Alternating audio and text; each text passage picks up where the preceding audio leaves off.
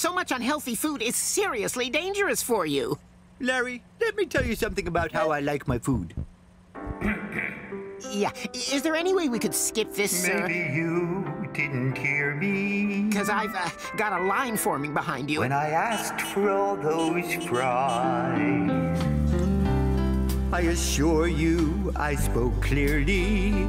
I said yes to super sized